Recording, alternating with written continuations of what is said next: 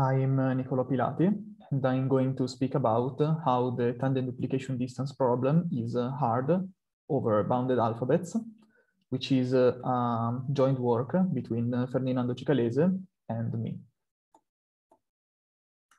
Uh, first, we define the operation uh, tandem duplication and the corresponding distance. A tandem duplication is uh, an operation on a string that uh, takes uh, as input a string of the type uxb, and where ux and b are substrings, and um, copies the substring x to obtain the string uxxb.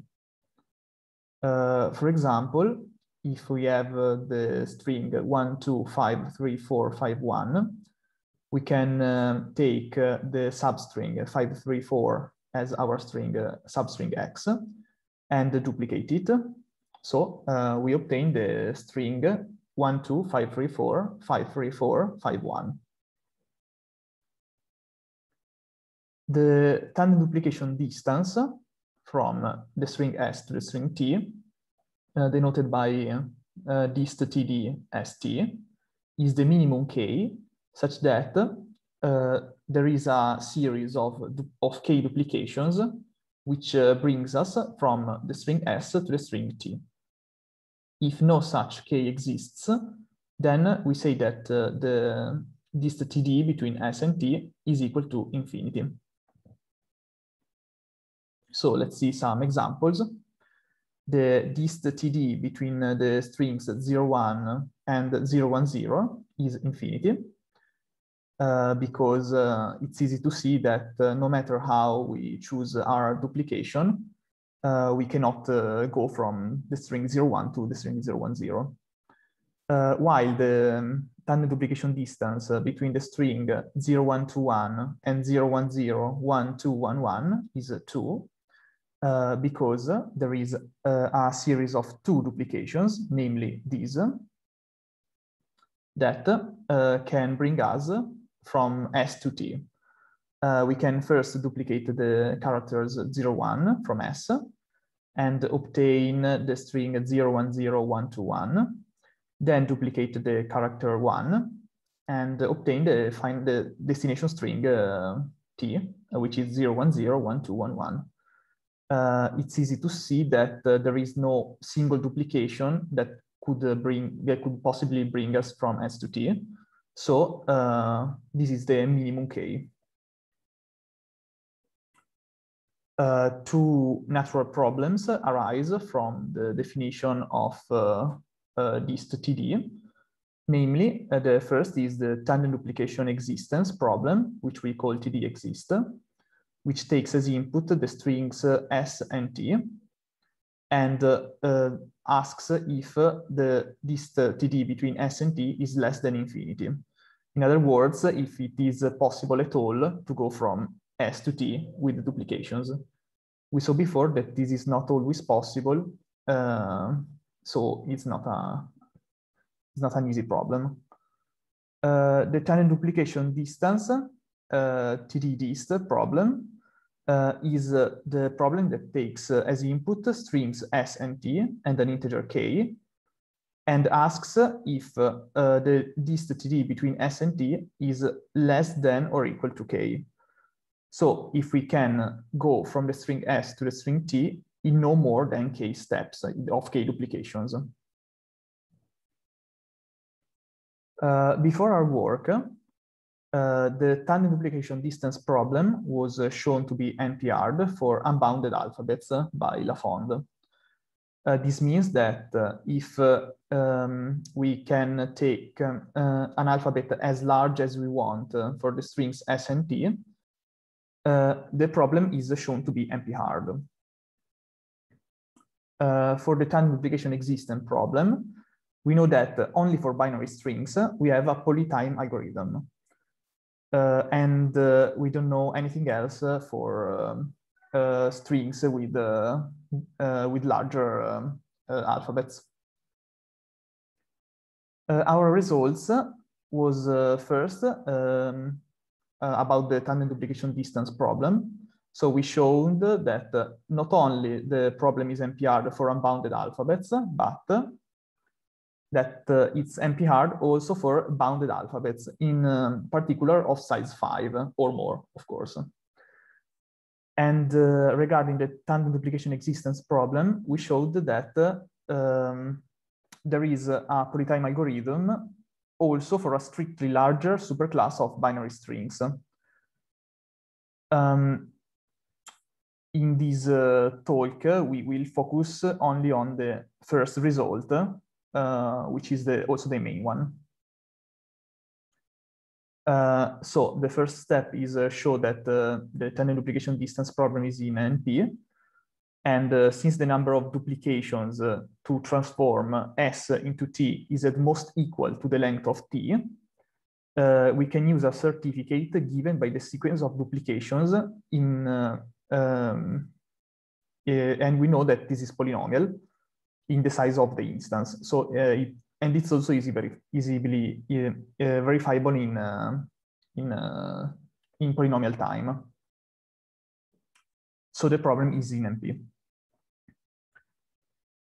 Regarding the NP hardness, we will um, use a, we will create a reduction from the tandem duplication distance problem over unbounded alphabets.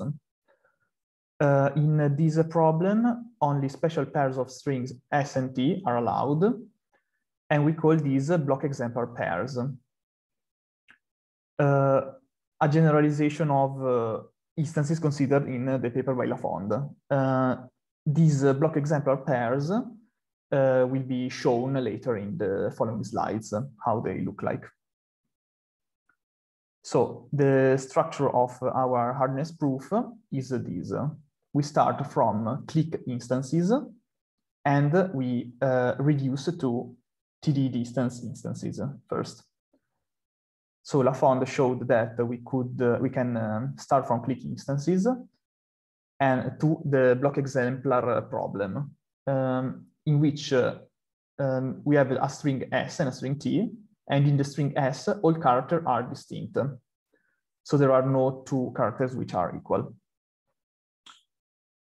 In our reduction, we start from the block exemplar problem, and we uh, use an encoding to um, encode each um, uh, to encode the strings S and T into strings S inverse set and T inverse set, which are not exemplar. So it's not true that uh, um, in S all characters are distinct, but are uh, pentary. So uh, they are uh, uh, they um, have an alphabet of size five. So uh, we aim to prove that uh, with uh, our encoding, the duplication sequences are mappable one-to-one -one from the unbounded alphabet pairs of strings to the um, five strings. If we manage to show that there is a one-to-one -one correspondence between the duplications in the uh, in the pentary uh, in the pentary subcase, uh, then we will um, we are able to show that uh, the problem is NP complete. Otherwise, we could solve the block exemplar prob problem too. So uh, this is a high level idea of uh, how uh, block exemplar pairs look like. The, the, and this is the, um, the instances of uh, the unbounded alphabet version of the problem that were uh, proved hard by Lafond. So the string S is equal to uh, a substring A and a substring Z, uh, followed by the character euro. While the string T is, uh, consists in uh, substrings A0, Z0, A1, Z1, all separated by the character euro. now we will see how these substrings look like.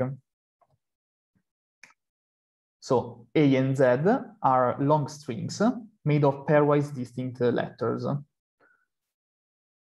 Uh, while um, the character euro is a distinct character which doesn't occur in A or Z and um, functions as um, a separating character to separate the, these uh, these pieces of the string T. While the, uh, in the string T, we have that uh, each uh, AI are suffixes of A uh, with the uh, single letter duplications. And uh, each ZI are copies of Z with the single letter duplications too. So we take, for example, A0 is, we take it as a um, suffix of A, and we can do at most single characters duplications, not two characters.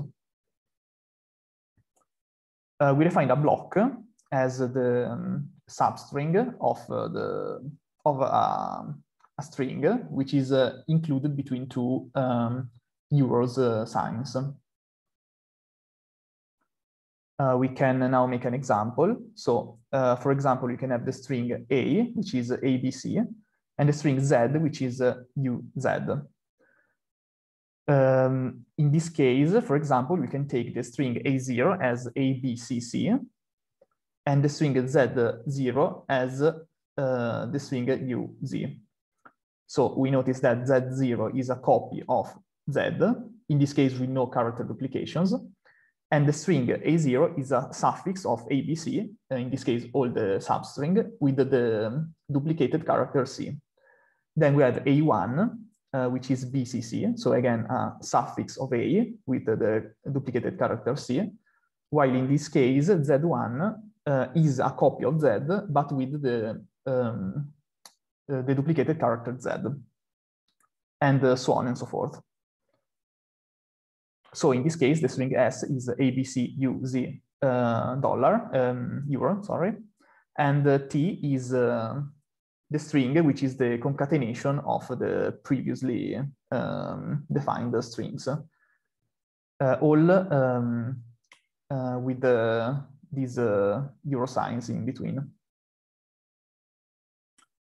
So uh, now we show that there are um, two ways to go from S to T, basically.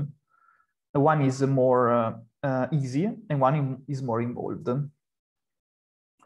The first way is to duplicate the blocks and then the single letters. So to create T from S, if you have the example from before, so the string S and T from uh, before, we can first create the second block, duplicating the whole first block, but the letter A. And uh, we can go on create the, the, creating the third block, by duplicating uh, the second block, but the character B. Uh, one, once we created the, the blocks, we can uh, start by uh, doing the single character duplications. So we start by uh, duplicating character C to um, and uh, then to duplicate the character Z in the second block and the character Z in the third block. Then going on with this strategy, we can uh, I think with other two duplications, we can uh, create the string T. Another way, uh, which is uh, uh, a bit more mm, complicated, is to interleave letters and block dupli duplications. So uh, we can start from the from by duplicating the the character C in the first block.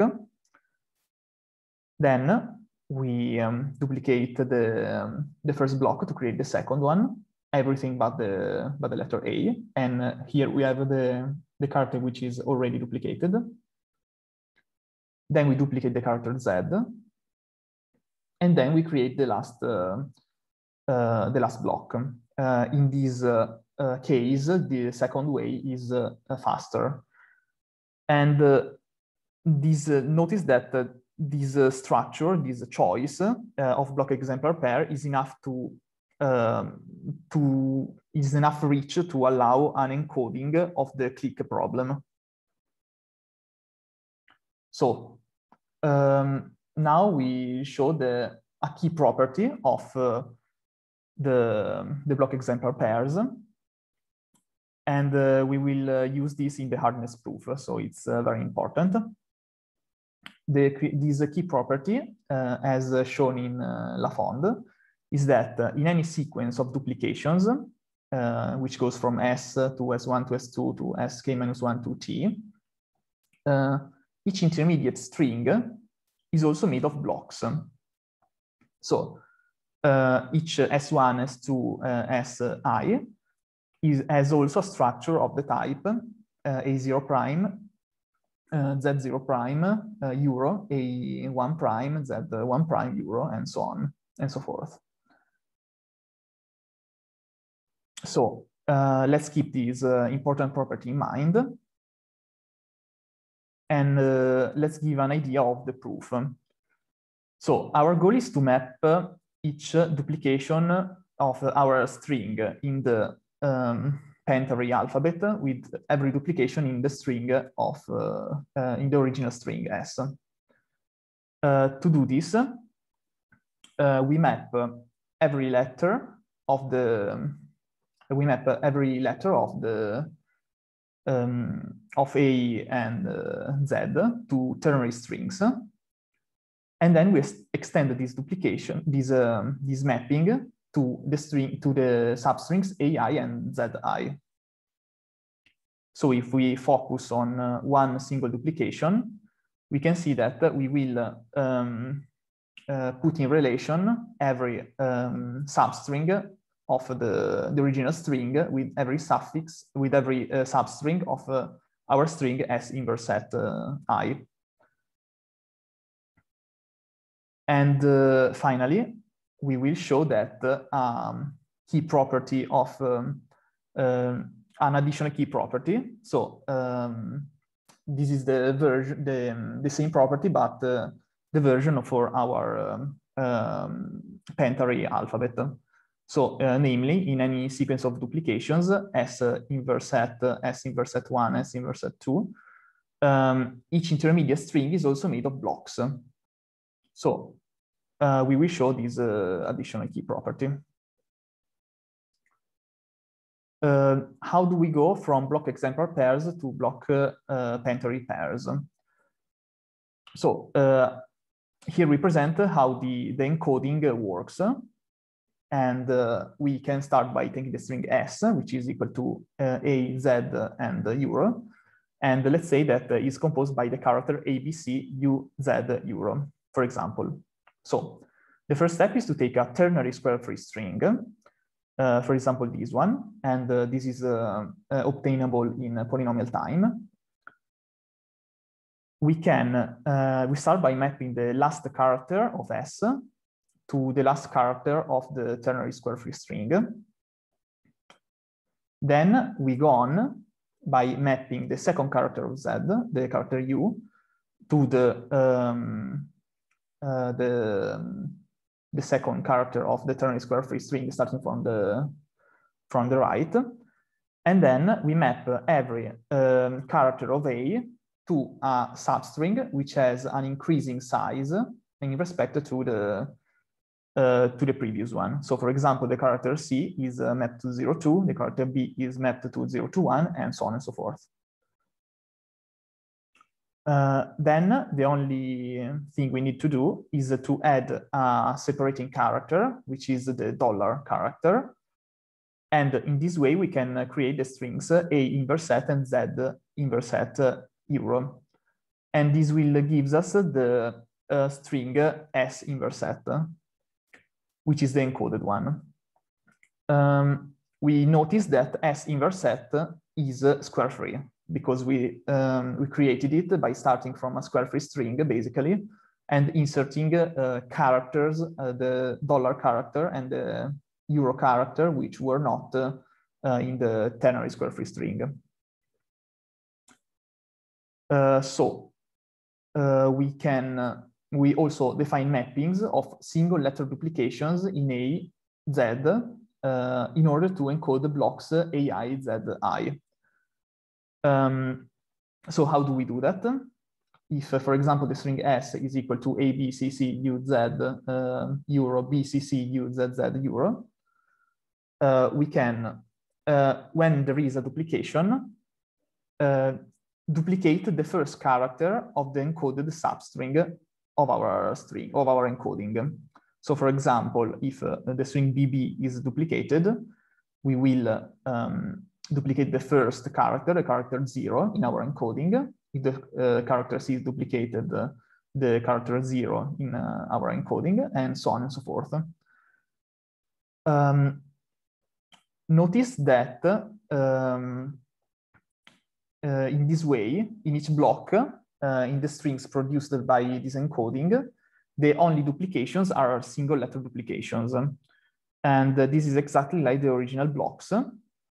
So um, their position is in a, we can say that it's in a one-to-one -one correspondence with the single letter duplication of the original strings. Um, so therefore, the, this encoding of S uh, inverse at prime uh, as a one-to-one -one um, as a one-to-one -one correspondence between the possible blocks obtainable starting from pieces of S and the blocks obtainable starting from uh, pieces of uh, uh, S inverse set. So if we fix such an encoding, uh, the encoding we spoke about before, uh, we can uh, connect to the main result finally. So how do we go from exemplar pairs to um, pentary pairs? First, we fix a sequence of duplications uh, S, S1, S2, and, um, and so on to the string T. Then we focus on a single duplication, the one which goes from Si to Si plus 1. Uh, we notice that uh, Si and Si plus 1 have a block structure, as shown in uh, Lafond. And uh, we know that S inverse at I and S inverse at I plus 1 are their encodings. Uh, then the string uh, s inverse at uh, i as a duplication for sure to the string s inverse at i plus 1. And uh, therefore, we can conclude that the string s inverse set um, can have the same number of duplications to the string t inverse set. Uh, we can see that because uh, if that if the um, if we have the encoding that uh, encodes every single letter of the string s, then we can do the exactly same duplications in our encoded uh, string. So this is always possible. We can, in this uh, uh, direction, we can always have uh, the, the same duplications. This is the easy part of the reduction. Uh, the hard part of the reduction is the inverse. So uh, if we have to uh, map uh, pentary pairs to block exemplar pairs. So uh, first we fix a sequence of duplications, S inverse set, S inverse set uh, one uh, to, and so on and so forth to T inverse set. We focus on one of these duplications, the one which goes from S inverse set I to S inverse set I plus one. And we say that uh, if we are convinced that uh, S inverse at I and S inverse at I plus one have a block structure, and this is not easy to see, um, and uh, S uh, I and S I plus one are their pre-image pre for their encoding, then for sure uh, we will have the, um, the same result. So uh, we have that there is a duplication which goes from Si to Si plus 1. And uh, therefore, we would have the result. Um, so this is the converse of before, and this is easily seen to be true if we take two uh, pentary strings made of blocks. Uh, the problem is that uh, it's not easy to see that this uh, con if condition is true. Um, and uh, our most technical uh, part of the proof uh, is to show that this is always true for intermediate string strings in a sequence of duplications from S inverse set to T inverse set. And uh, hence, we have the converse of the previous result.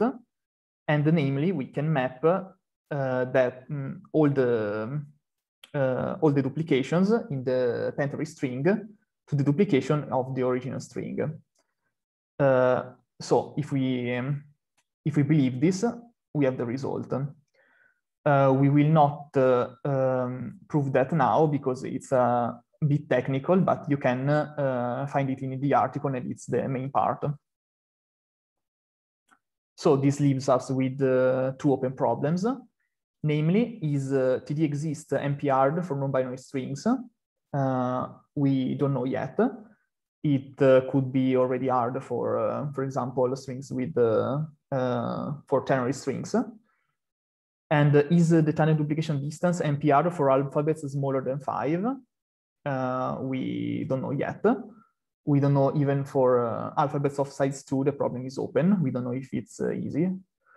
And uh, are there reasonable approximation algorithms for distance TD? Uh, this is uh, still an open problem, also for binary strings. So thank you for the attention.